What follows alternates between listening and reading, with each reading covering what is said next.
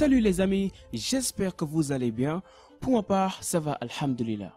Étant le dixième plus grand pays d'Afrique, l'Éthiopie a toujours impressionné le monde entier, occupé que très brièvement de 1936 jusqu'à 1940 par l'Italie, qui n'a pas réussi à le soumettre militairement ni politiquement. L'Éthiopie peut se vanter aujourd'hui d'être jamais colonisée. Et allons tout de suite découvrir les 9 choses à savoir sur l'Éthiopie. Il n'y a pas que des villages en Éthiopie. Connu de tous comme l'un des pays les plus pauvres au monde, il est pourtant facile de caricaturer l'Éthiopie à tort. Car non, cela ne veut pas dire que ses habitants vivent tous dans des petits villages en plein cœur de la savane au milieu des lions et des gazelles. Loin de là, ce pays de la corne de l'Afrique possède bel et bien des villes, des routes, voitures et même des ronds-points. Bref, la civilisation quoi. L'année y dure 13 mois. L'Éthiopie possède un calendrier et des horaires propres à elle. L'année commence le plus souvent le 11 septembre et compte 13 mois. L'un de ces mois ne fait que 5 jours. Il y a aussi 8 ans de décalage avec notre année actuelle. Le décompte des heures se fait à partir de 6 heures du matin. Midi est à 6 heures du matin pour eux. Quand il est 15 heures en heure solaire, il est 9 heures pour les Éthiopiens leurs maisons traditionnelles. Les maisons traditionnelles sont des espèces de huttes rondes appelées tukul. Le sol est en terre, les murs sont constitués de bâtons de bois ou de boue et le toit est fabriqué à partir de hautes herbes séchées. Les familles aiment utiliser des magazines ou des journaux comme papier peint pour leur maison. Leur monnaie est le beurre. On écrit bir B-I-R-R, mais la bonne prononciation est beurre parfois appelé dollar éthiopien, elle a été introduite en 1945 pour remplacer le talent de Marie-Thérèse qui n'est plus utilisé à partir de 1949. 50 beurre vaut environ 1,91 euros et 2,15 dollars. L'alimentation est à base de crêpes locales.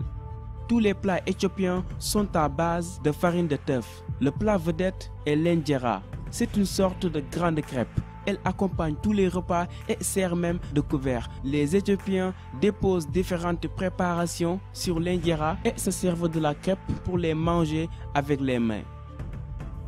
L'Éthiopie a été dédommagée par l'Italie.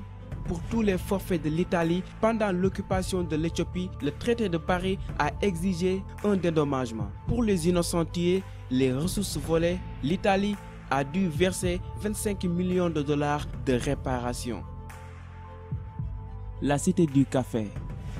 La plante qui produit le café est originaire de l'Éthiopie. Il s'agit du coffee arabica. Selon la légende, le café aurait été découvert par un berger d'Abyssinie qui aurait observé ses chèvres se nourrir de caféiers et être prises peu après d'un grand élan d'énergie. Les caféiers étant très répandus en Éthiopie, le berger décida de faire part de sa découverte auprès du roi qui fit du café un emblème national. En effet, le café est le symbole de l'hospitalité et est dégusté en famille ou en l'honneur d'un hôte. Ainsi, chaque invité doit, selon la tradition, accepter les trois tasses offertes sous peine de malédiction. En 2006, l'exportation de café rapporta 350 millions de dollars. Le berceau de l'humanité.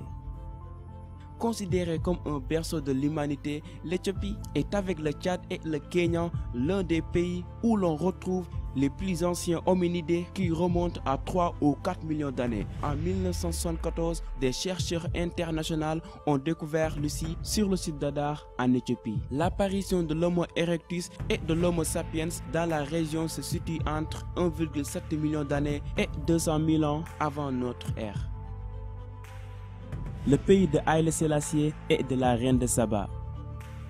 Tafari Makonnen, le dernier empereur d'Éthiopie, a régné sous le nom de Haïle Selassie Ier de 1930 à 1936 et de 1941 à 1974. La plupart des Rastas le considèrent comme le dirigeant légitime de la terre et le Messie parce que selon la tradition éthiopienne, il est ascendant de Ménélique Ier, ancêtre revendiqué de la dynastie des Salomonides, fils de Salomon, et de Makada, reine de Saba du royaume de Saba qui s'étendrait du Yémen au nord de l'Éthiopie et en Érythrée. La reine de Saba est mentionnée dans des récits bibliques, hébraïques et dans le Coran sous le nom de Balkis dans l'histoire de Salomon. Allez les amis, j'espère que cette vidéo vous a plu. Quel est l'effet qui vous a le plus impressionné sur l'Éthiopie? N'hésitez pas à me le dire dans les commentaires et abonnez-vous aussi pour encore plus et plus de vidéos. Allez, rendez-vous dans ma prochaine vidéo. Ciao